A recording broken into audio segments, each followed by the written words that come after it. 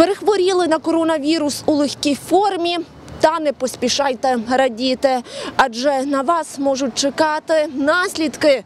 Постковідний синдром, який потребує чималої реабілітації. Коронавірусна хвороба в багатьох не минає безслідно. Навіть ті, хто перехворів на COVID-19, офіційно одужав, насправді ще тривалий час не відчувають себе здоровими. Цей постковідний синдром, цей вірус новий, поражає не тільки легені, в основному легені, але ще й серцево-судинну систему, шлунково-кишковий тракт, нервову систему і м'язові, м'язову функцію і тонус м'язів. Страждає і психологічний стан людини, кажуть медики. Є такий синдром втомлюваності, е, коли люди дуже важко відходять від цього ковіду.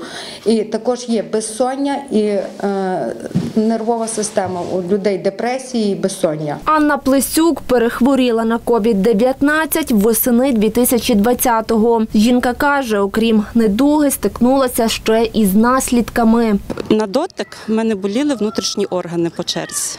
Я відчувала болі от під ребрами, тобто де шлунок, печінка, потім зліва, справа. І вони так от в мене блукали. Такі бо такі блукаючі болі були по, ну, по внутрішніх органах. Після реабілітації жінка почувається вже набагато краще. Медик Наталія Ожгевич каже, є два типи реабілітації. Перший тип реабілітації це легеневий, е, тобто з легенями треба робити дихальну гімнастику, а друге треба дуже багато ходити. Я своїм пацієнтам кажу, щоб вони на воздусі ходили 10 кілометрів в день, і тоді буде відновлення легеневої системи.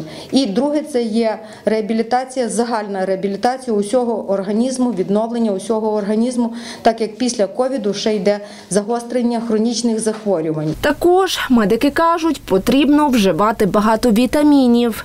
Тож дотримуйтесь усіх рекомендацій, бережіть себе, дбайте про своє здоров'я, і тоді усе точно буде гаразд. Ольга Гриців, Олег Рудак, новини телерадіокомпанія Раї.